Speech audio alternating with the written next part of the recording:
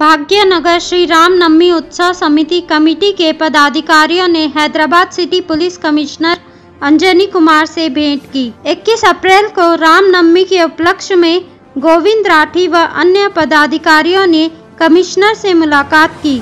नवभारत समाचार से संवाददाता रविंदर।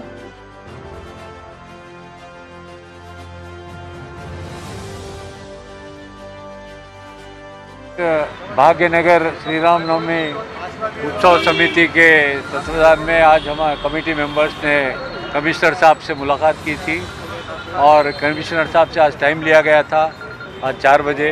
फिर भी उन्होंने टाइम दिया, काफ़ी देर तक बातचीत की और उन्होंने एक ही बात कहा कि ये सेंट्रल गवर्नमेंट और स्टेट गवर्नमेंट के तहत यहाँ पर जियो निकला गया है और 30 तारीख तक यहाँ पर अलग अलग फ़ंक्शंस को नहीं देने की बात रखी है।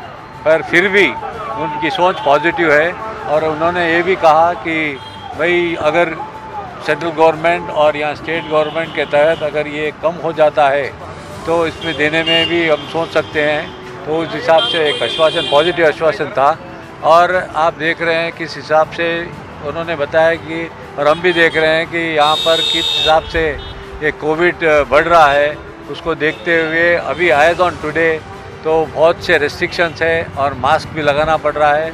और हमने उनसे कहा कि भाई, ये 21 तारीख को है और हनुमान जयंती 27 तारीख को है।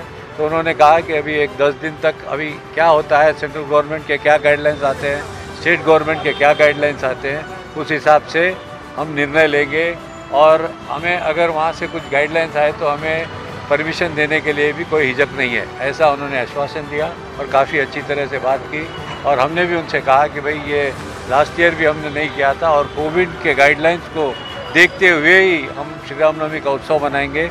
और उन्होंने ये भी कहा कि भाई, आप अभी तो 21 तारीख है, एक पाँच सात रोज़ में केसेस कम होते, ज़्यादा होते, वो भी देखने लायक है, क्योंकि अभी आप देख रहे हैं, जिस प्रकार से जो हॉस्पिटल्स में पहले खाली थे अभी पूरे भरे, भर गए हैं और जगह भी नहीं मिल रही हैं। आज के हिसाब से जिन्होंने जियो का भी, भी बताया गवर्नमेंट ऑफ़ तेलंगाना की और गवर्नमेंट ऑफ़ तेलंगाना के जो एक्स्ट्रैक्ट कॉपी के हिसाब से आज उन्होंने कहा कि इस पर अभी तो हम कुछ कह नहीं सकते फिर भी हालात अच्छे होंगे तो हम इसमें सोच विचार करेंगे।